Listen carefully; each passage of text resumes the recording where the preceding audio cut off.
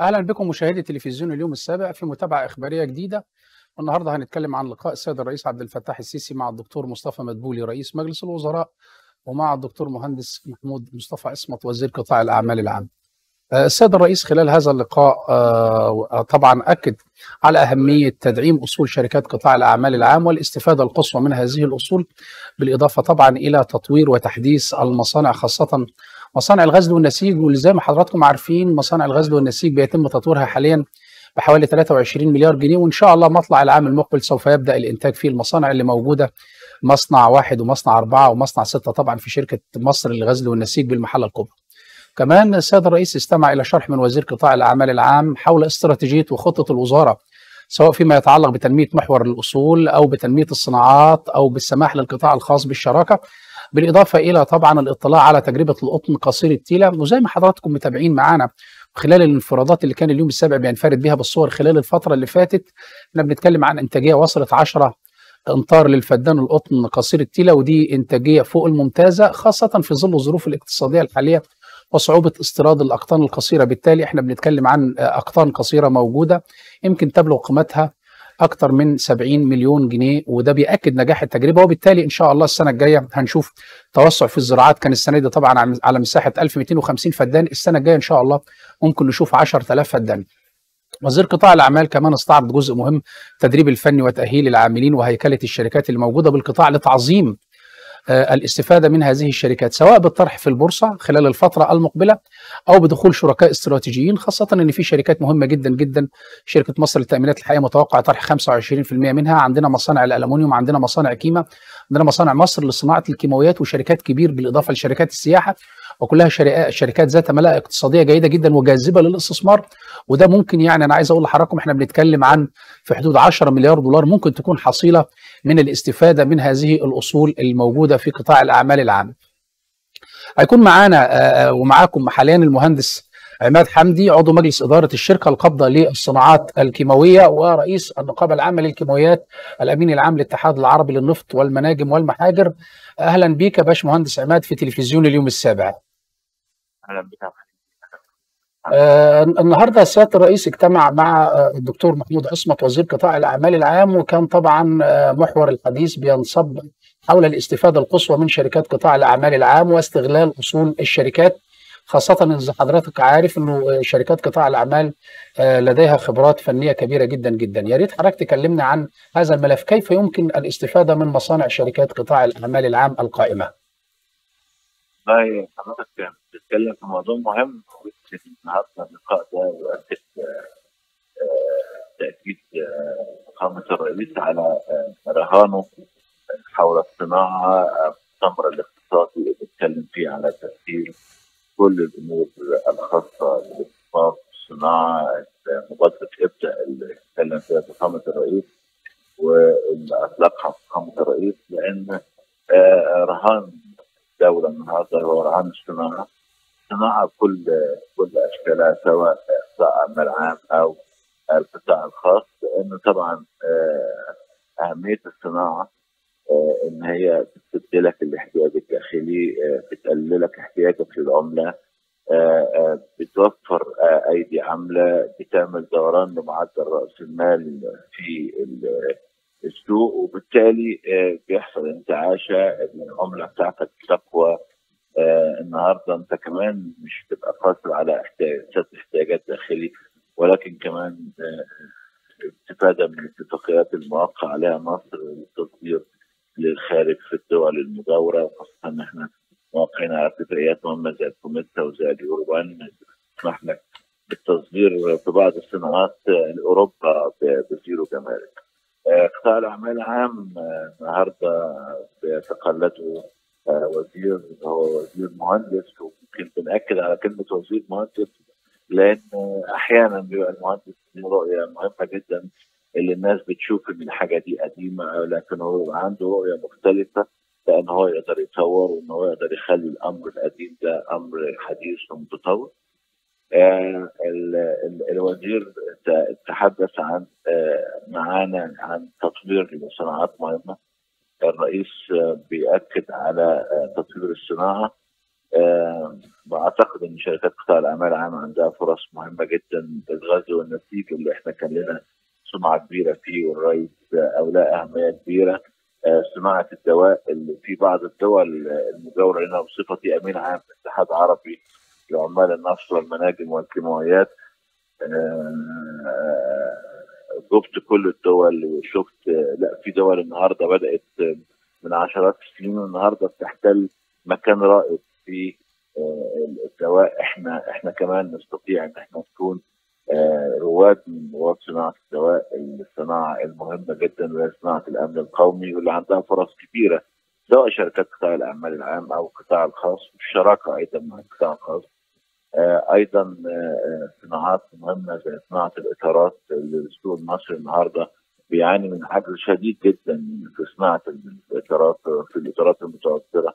ما فيش إطارات متوفرة. الشركة الوطنية الوحيدة للنقل والهندسة فخامة الرئيس أصدر تشكيل لجنة لتطوير هذه الشركة والاستفادة من اطارها اللي موجودة في سموحة وده أحد النماذج اللي حضرتك بتتكلم عليها الاستفاده من في سموحة. لعمل مصنع لها على أرضها اللي موجودة في العمرية. يمكن إحنا كنا طرحنا إن الشركة دي ممكن تشتغل على أرضها لمدة سنتين أستاذ عماد شركة النقل والهندسة لو اتكلمنا عن التشغيل العاجل هتحتاج قد إيه؟ علشان بس الناس اللي متابعانا؟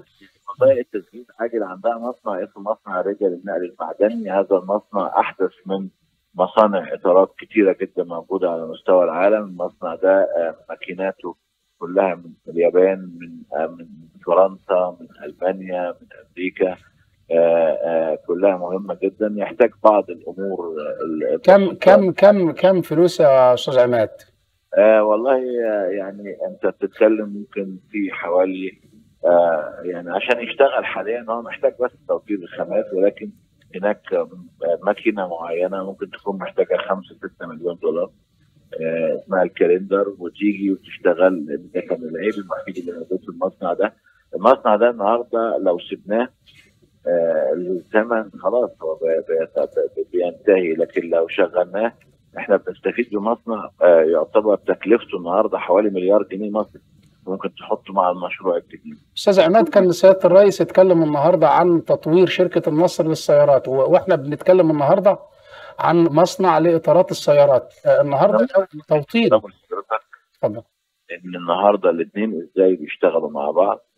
النهارده المغرب بدأت دولة زي دولة المغرب دولة شقيقة بدأت في صناعة السيارات منذ حوالي يعني حوالي 10 10 سنوات.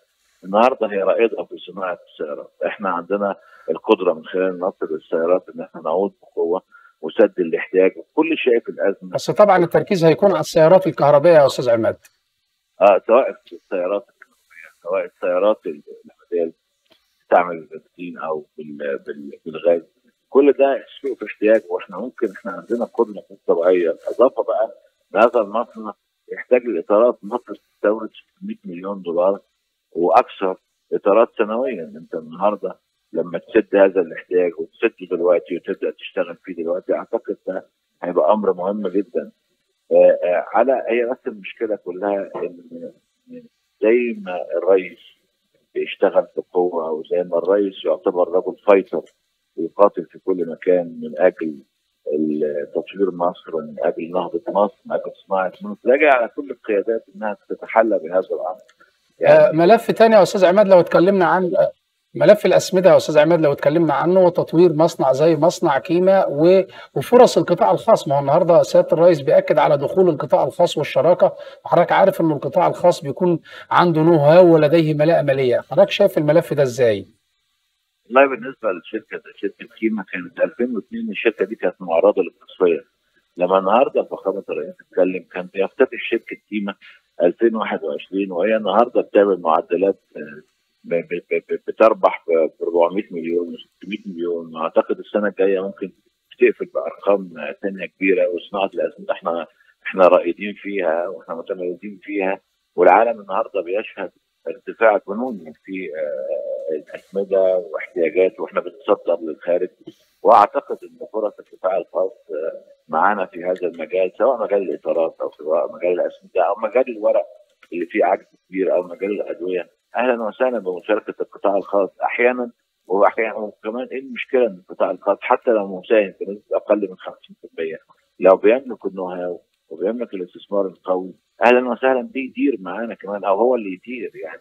النهارده الرئيس اتكلم على إن في حاجات معينة القطاع الخاص فيها بيملك قدرة الإدارة أهلا وسهلا يدير حتى لو نسبة مشاركته أقل من 50% إحنا النهارده عندنا تأتي المحنة وداخلها المنحة.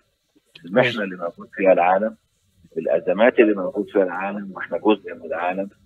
آه الكل تأثر. اعتقد آه عندنا فرص كبيرة جدا إن إحنا النهارده نسوق للمنتج المحلي.